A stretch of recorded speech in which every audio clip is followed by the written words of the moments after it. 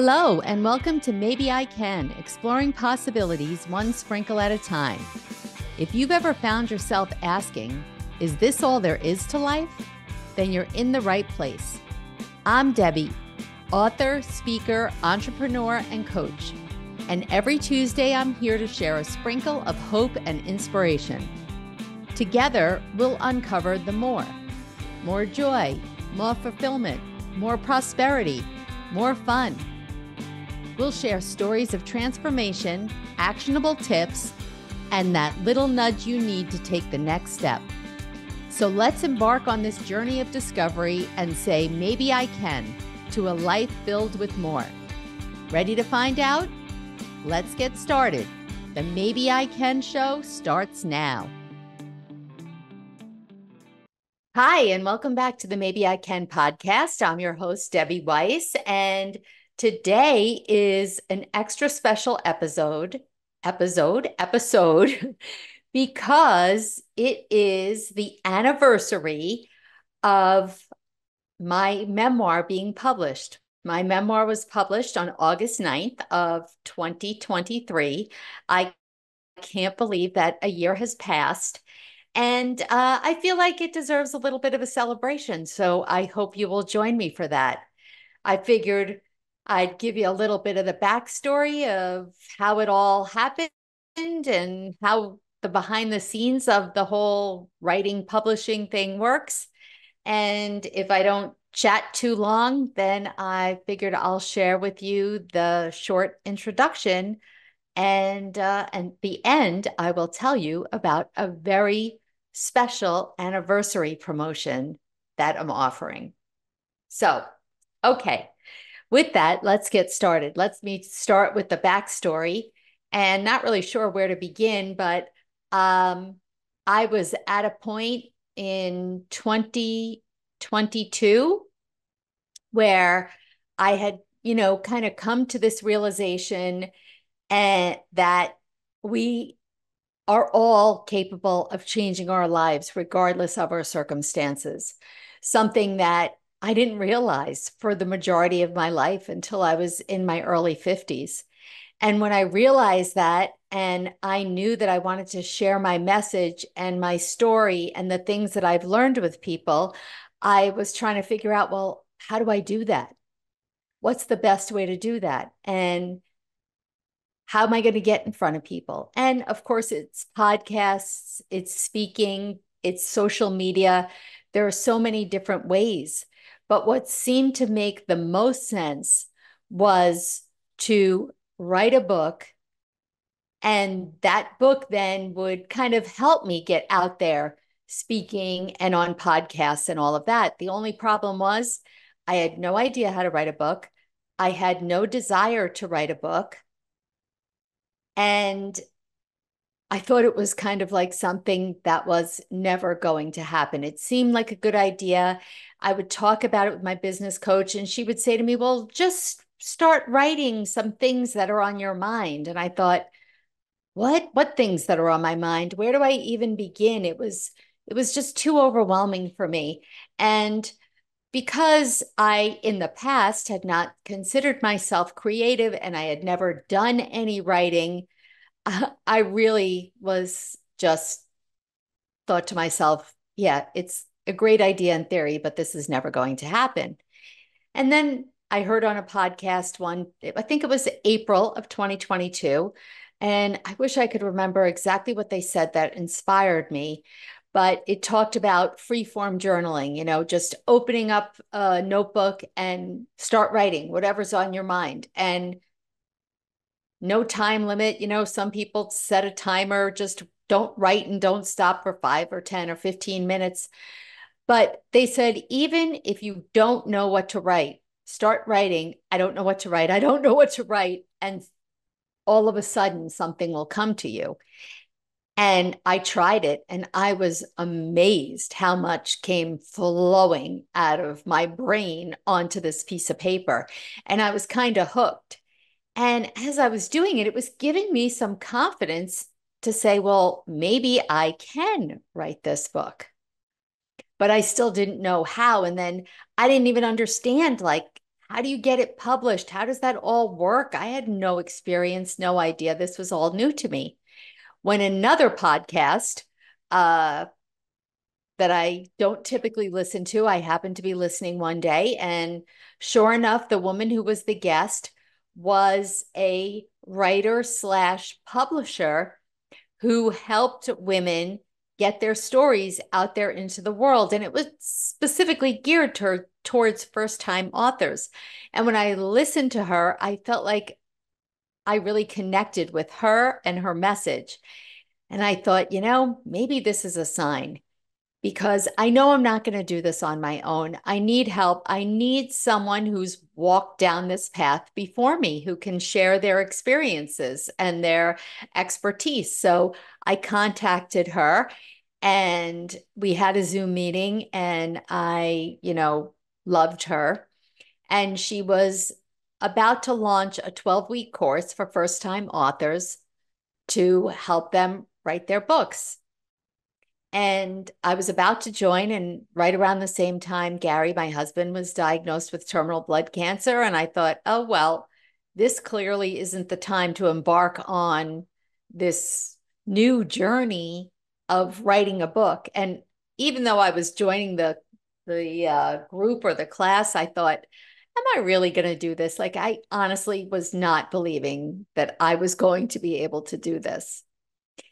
And I actually told my therapist, I said, I'm embarrassed to say I was thinking of doing this, but now that this has happened with Gary, I know it's out of the question.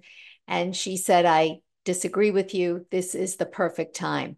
You need something separate from what's going on with Gary and everything, all the um, upheaval in your family to focus on. So I joined the group. And for the first month or so, I really struggled with trying to figure out what was the structure of the book going to be. And and there was help along the way but still it was up to me to figure out what made the most sense for my story and my book. And once i had the outline everything got a lot easier. I knew that i was just going to tell different stories that hopefully would inspire people. I knew that I wasn't going to then give some kind of commentary or activities. I, I made a conscious decision that this was just going to be an inspirational book about my story. And, you know, that was it. And I remember one day sitting down to write, and was really struggling. And when I came to the group le- the next week, I, I was talking about it. And someone said, Well, you know, you don't have to write the book in order. And I thought, What? and I just started laughing. How ridiculous. I was like, Well, I'm up to chapter seven. And so I have to write chapter seven. And when they said that to me, it seemed so ridiculously obvious. Nobody knows the order that I'm writing this in. And it made it so much easier because every day that I sat down at my computer, I could take a look at the outline, look at the stories, and decide what I felt like writing that day. And that really helped me. When my husband passed away on December 30th, 2022, I was three chapters shy of finishing the book. And so what I had done was in in um, the publishing world, what I found out was is that you could use a traditional publisher, which if you were going to do that, you have to have a literary agent and they're looking for a certain number of social media following and email lists and all this stuff. And you you know really the percentages are so low that a traditional publisher is going to agree to publish your book.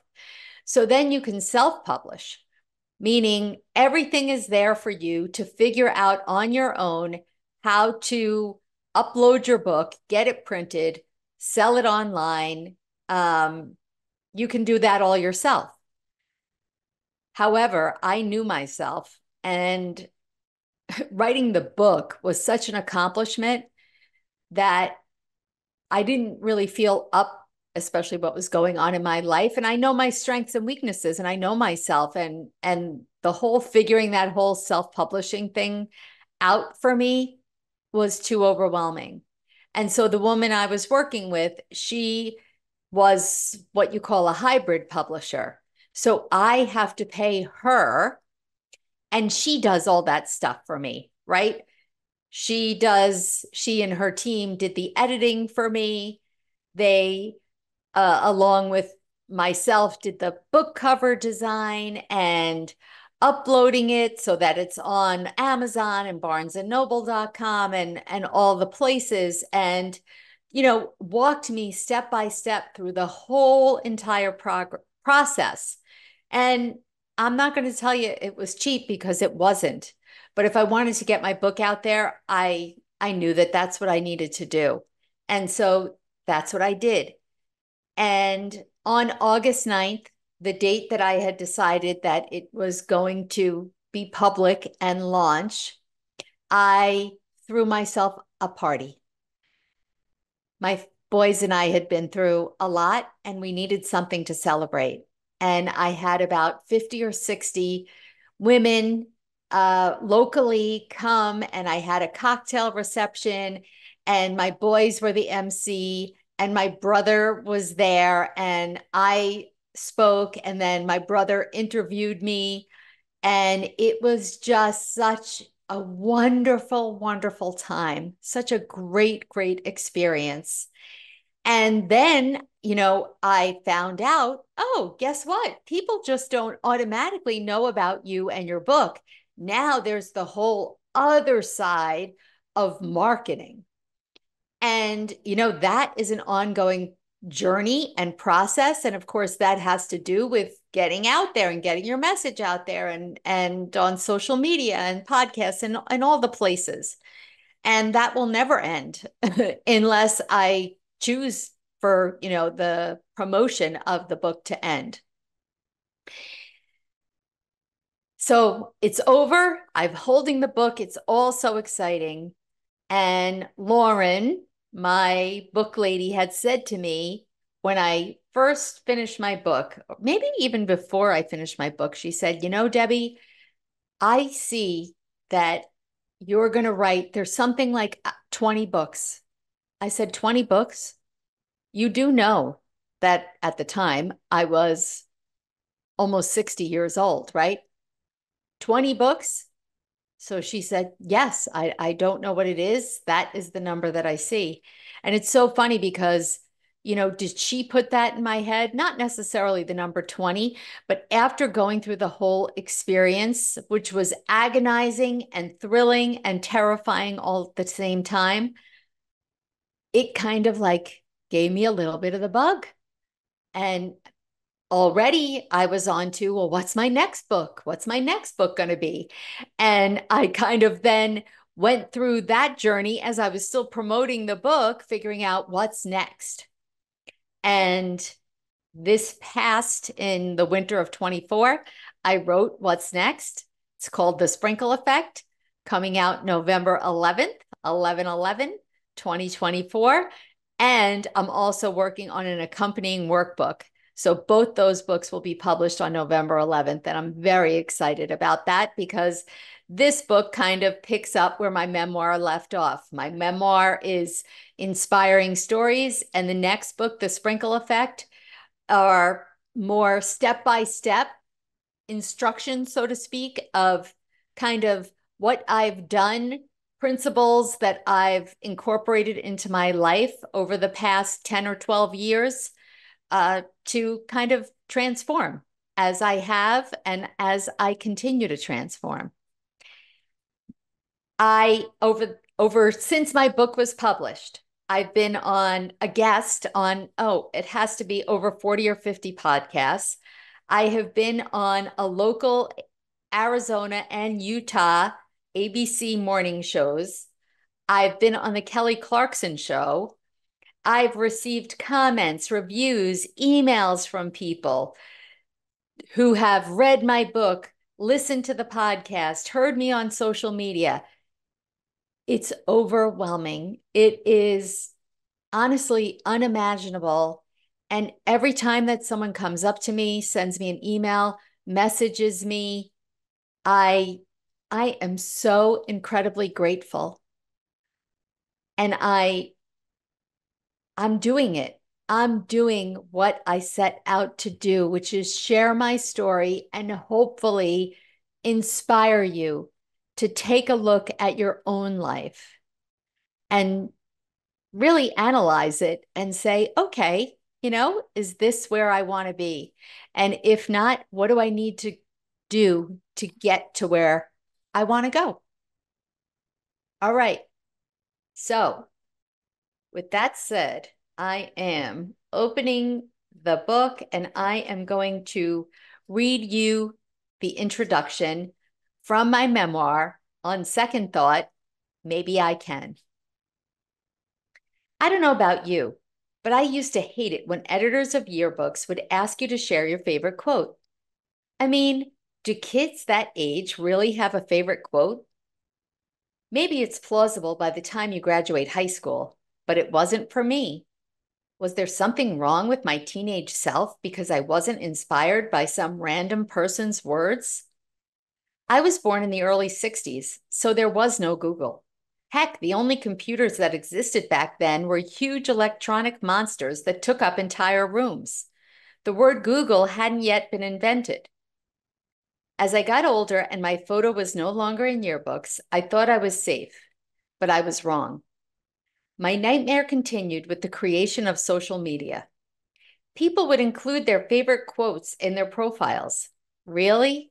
Again with this crap? Did people live their lives inspired by these words, or was it just for show? I wasn't going to be a phony baloney. Instead, you would always find quoteless profiles whenever you searched my name. But then, lightning struck, and I finally became a woman with a quote. Have you ever noticed how once you stop searching in desperation for an answer or an item, it suddenly appears? Life tends to play jokes on us like that. I was sharing the story of my transformational journey, and the quote, not exactly verbatim, came tumbling out of my mouth. Where the heck did that come from? Whatever I said sounded good and quite inspiring if I did say so myself. Hmm, had I made it up or was it an actual quote uttered by someone else?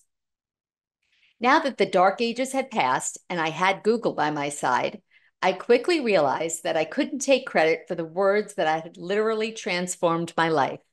The credit belonged to another. Are you sitting on the edge of your seat wondering who it was that uttered the words that changed my life? Are you guessing that it's some inspirational guru Maya Angelou, Gandhi, Oprah, none of the above. It turns out that it's a quote I had heard over and over again from the time I was a little girl, but had never paused to truly understand the meaning. As a matter of fact, it came from a movie that I had a love hate relationship with. I hated it because so much of the movie had scenes and characters that scared me to death. It's ironic how a film that gave me nightmares contains the message that changed my life forever. Ready? Here it is. Glinda the Good Witch says, You've always had the power, my dear. You just had to learn it for yourself. Pow! Why had no one ever told me that I had the power to change and steer the direction of my life? No teacher, professor, or parent thought that this might be useful information for me to have, apparently. I thought I didn't have any choice or control in who I was or what I did with my life. I assumed we were all victims of our individual circumstances and our lives played out accordingly. Obviously, I knew we had some choices, but not absolute power. I guess there were signs that revealed themselves along the way, but I was wearing blinders like a racehorse, only focused on the finish line. But wait, other people seem to have been taught this secret. Is this something they were taught in school? If not, maybe their parents taught them. Or the more likely answer was that they possessed special qualities that enabled them to rise above us mere mortals. As I dug a little deeper, it became apparent that they were regular people, just like you and me, before they became the inspirational, happy, successful people they are today. Once the cat was out of the bag, my exciting new life journey began. I started making small changes in my daily routine. I learned that goal setting wasn't just something you did in school or at work, but you could actually apply similar techniques to all areas of your life. I expanded my thinking and became, became open to many things that I had either poo pooed or uttered my old favorite expression of I can't. My life slowly began to change. Each day I would wake up with a renewed sense of energy and excitement. The same feeling you have when you first fall in love, and each day starts with a sense of anticipation. I've got to be honest and tell you that my current everyday concerns were still there, but they didn't seem as onerous as they did before. I felt like I was finally moving my life in the direction that I wanted, one small step at a time. I could no longer blame others or the situations I found myself in. They were not responsible for the direction of my life. With knowledge comes responsibility. I alone hold the power to create whatever I want in life, regardless of the circumstances. Some things are out of our control, but how we react is always in our control. It's empowering when you realize that you have had the power all along. Let's start at the very beginning. A very good place to start, as Julie Andrews sang in one of my favorite movies, The Sound of Music. Okay, don't get nervous. I'm not going to give you a year by year synopsis of my life story. After all, my goal is to inspire you, not put you to sleep. This book will share with you who I was, who I was becoming, and who I am still becoming. In sharing this goal, in sharing this, my goal is to inspire you to dig deep and do some soul searching of your own. Doing so will help you identify the barriers that might be stopping you from living life on your own terms. My stories will highlight why and how I perceive myself and the world around me. You see, we all have a set of core beliefs, which are formed by the age of seven. These beliefs are lurking in our subconscious minds and are partially responsible for how we think today. These are assumptions or perceptions that we have about ourselves to, that help to form our identity. They are often negative, inaccurate, and hold you back from achieving your potential. They could come from your peers, teachers, parents, or others you encounter. Your experiences, education, and family beliefs can also play a part in forming these assumptions. Pretty much anything and everything that has ever happened to you in your life contributes to those core values and thoughts. It doesn't mean that everyone set out to cause you harm with what they said or did. Chances are those who caused you to internalize these negative opinions about yourself had no idea what their actions or comments were doing to you. It's ironic because the more I explore my own limiting beliefs from my past, my mind turns to my own children. Oh no, what have I said or done to screw them up? It kept me up many nights playing each moment of their lives out in my mind, trying to see where I went wrong until it hit me. I did the best I could at the time. I would never, ever do anything to maliciously harm my child's psyche in any way. It upsets me to think that I probably have contributed to their own negative opinions in some way. I have to remind myself that I'm not perfect. None of us are. Chances are there is no one in this world who doesn't grow up with at least a few negative views of themselves. The good news Whoops. The good news is that once we are aware of what they are and where they came from, which does take some time and energy to figure out, we can begin the process of removing them and replacing them with positive, accurate thoughts. Our brains are quite magnificent, highly efficient hard drives that can be rewired. All right, I got to skip because I'm running out of time. So let's see.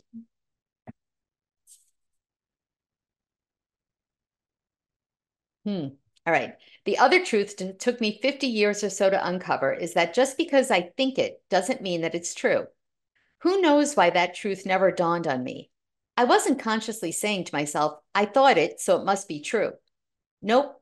I was subconsciously assuming that my thoughts were hard truths. The sense of freedom I discovered when realizing this wasn't reality, if I didn't want it to be, was empowering.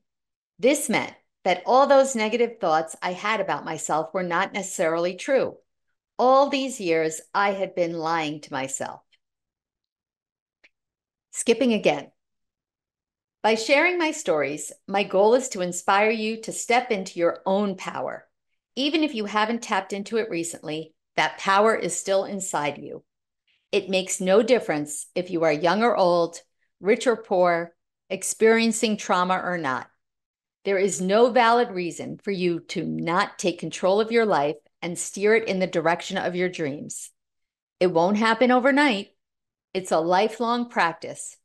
But today is the day that practice begins. Let's get started. Okay. Now, I'm very excited about this because for one week, and this ends on, oh gosh, I was going to say April. We're in August. This sale ends on August 16th, 2024. So you only have a couple of days left.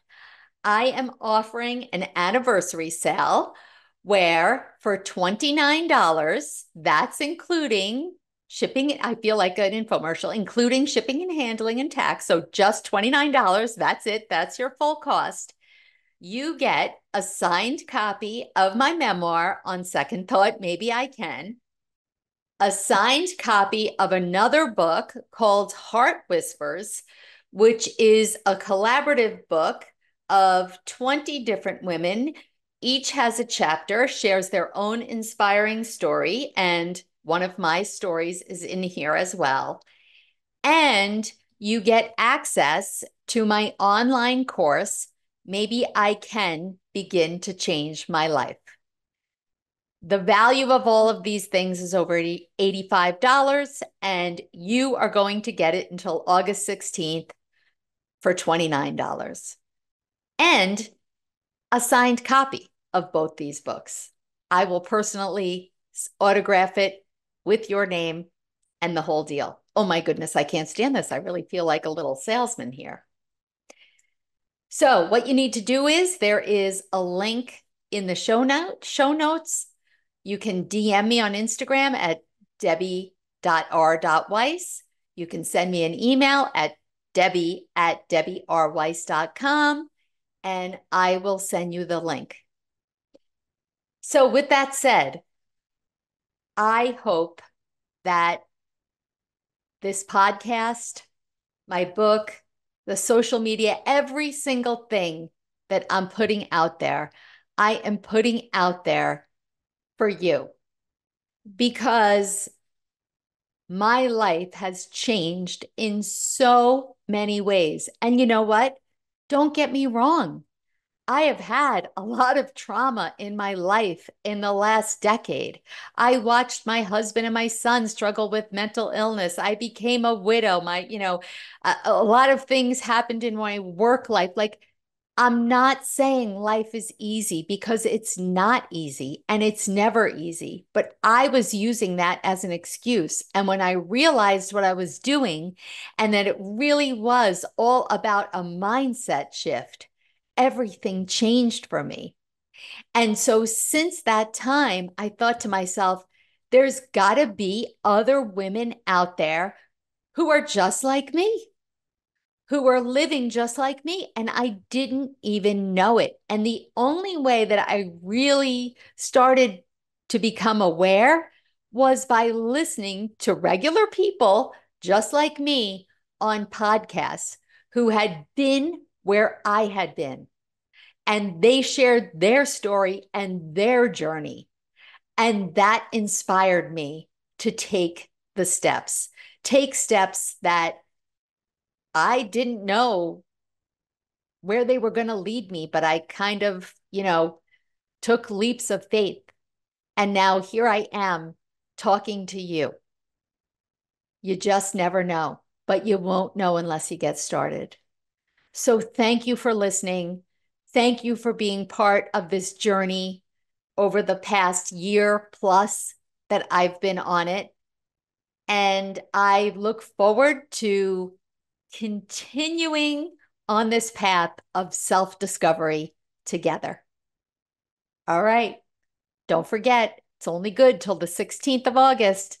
Click on the link now, and I will see you next week.